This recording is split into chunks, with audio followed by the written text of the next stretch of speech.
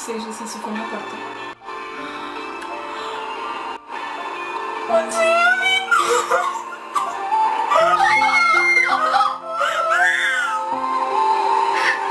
And I've lost and